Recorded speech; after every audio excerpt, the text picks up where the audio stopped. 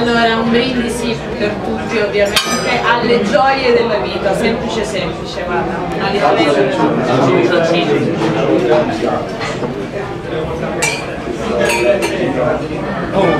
Intanto buonasera a tutti, benvenuti.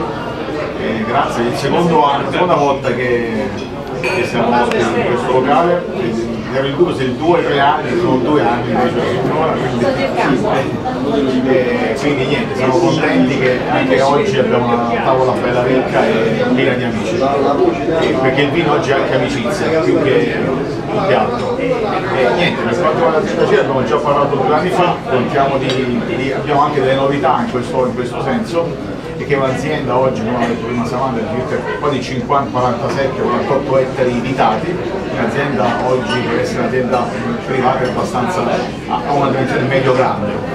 Il, il, fatto del, del Molise eh, ha i pro, a mio avviso, e i suoi contro, c'è una terra a mio avviso poco conosciuta e invece in realtà ha tante cose buone, a cominciare dal, dal vino, forse è una delle cose eh, di cui si parla di più, però forse avete anche dei, dei formaggi, casifici molto votati, avete anche carne di grandissima qualità, dove anche un territorio a avviso quasi incontaminato e questo è, importantissimo.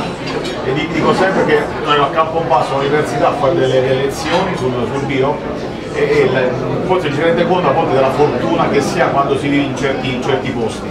Perché credo che a Milano o a Varese tutte, o anche in stessa Franciacorta che terra gradita che piace molto al nostro Nicola e non c'è forse questa forza di, di, di, di, qualità sui prodotti. Qui abbiamo una forza dei prodotti che è impressionante eh, si è parlato un po' del, tornando al discorso dei vini, anche sui vini si è un po' penalizzati forse in Molise al fatto che c'è l'Abruzzo che, che, spinge da una parte, e la Puglia eh, dal basso, poi dall'altra parte c'è la campagna, qui c'è un po' circondato e non riesce a esprimere forse il, il, il, reale potenziale, anche perché forse è anche piccola e forse c'è bisogno forse di, di andare a cercare delle varietà autoctone e più, più pregiate, più ricercate per, poter, per poi farle, farle diventare proprie. Per quanto riguarda il nostro, il nostro, i nostri vini, praticamente ad esempio prima in aperitivo uno Chardonnay Chardonnay del 2017, tutti i vini che noi assaggiamo sono del, della vendemmia scorsa, non sono le nuove annate, che abbiamo imbottigliato qualche giorno fa, e li facciamo riposare e tra un po' saranno disponibili. Quelle che noi oggi sentiamo sono tutte annate vecchie, ma nonostante sono annate, tra virgolette, vecchie di un anno, sono ancora belle integre, infatti lo Chardonnay abbiamo una bella frutta gialla al naso una, un piacevole e avvolgente, questo non è lo Chardonnay Eta. E io ero, non ero favorevole allo Chardonnay, diciamo, e però ha detto che è un passepartout per, per l'estero, potrebbe essere l'appeal per i mercati internazionali, in quanto raccontare della falanghina all'estero credo che sia improponibile in questo momento, è già difficile raccontare l'Italia, figuriamoci all'estero. Quindi è chiaro che oggi una, una, cantina ha bisogno di un vitino, di un vino, oggi internazionale. E oggi Cile si è dotata di uno Chardonnay.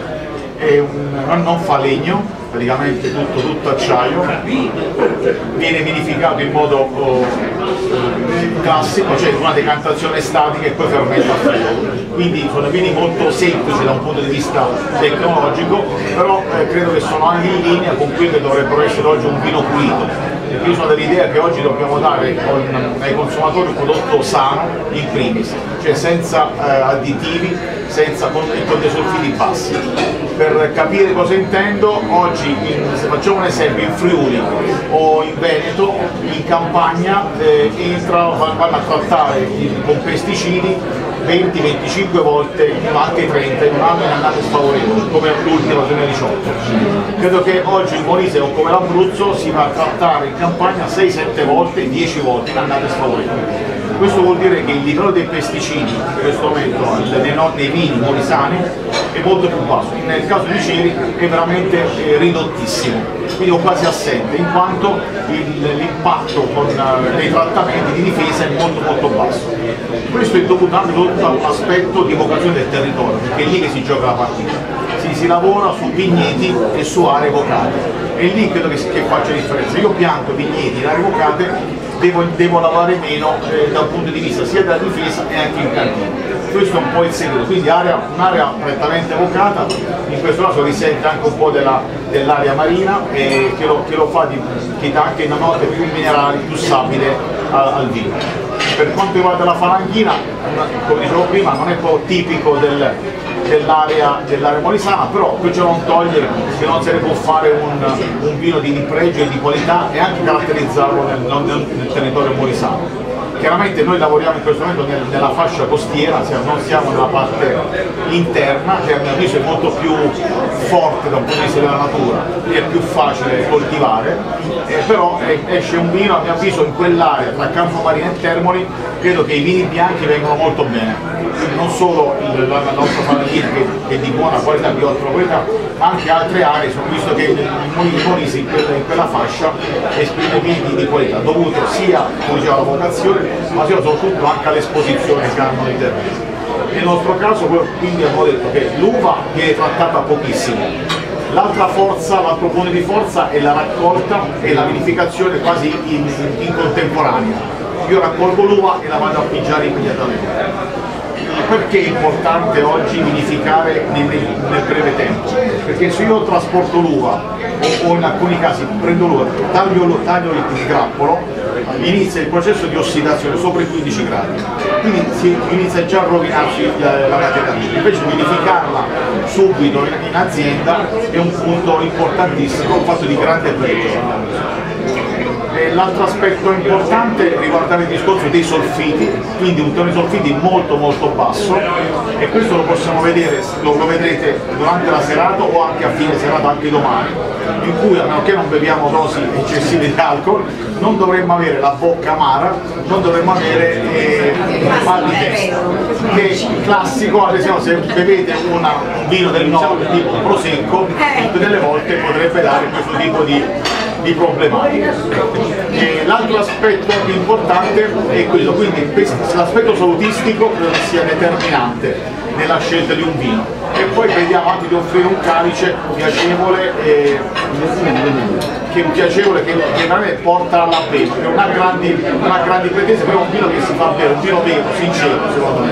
Ed è quello oggi che deve offrire il Molise, quindi dei, dei, dei, piatti o dei vini veri con, con dei sapori, con delle sensazioni molto forti e incisivi. Credo che oggi siamo in grado di, di offrire questo. L'altro aspetto, e chiudo, è l'aspetto dell'evoluzione. Il più delle volte ci facciamo, rivolgo ai ristoratori, si fa condizionare dall'annata. Se non si fa dall'annata nuova diventa un, uno stress stress, il vino già per l'annata diventa non, non buono. Non buono. Dove invece oggi, stasera, abbiamo la testimonianza che stiamo eh, degustando annate eh, di un anno, non sono vecchissime, però eh, che sono ancora vini piacevoli. Posso dire che oggi il consumatore straniero è più propenso a questo tipo di, di prodotto, quindi con la morbidezza, l'evoluzione leggermente maggiore. Io vi lascio alla tavola, sono arrivati i piatti, se ci sono domande, altrimenti buon appetito ci vediamo per i vostri appuntamenti.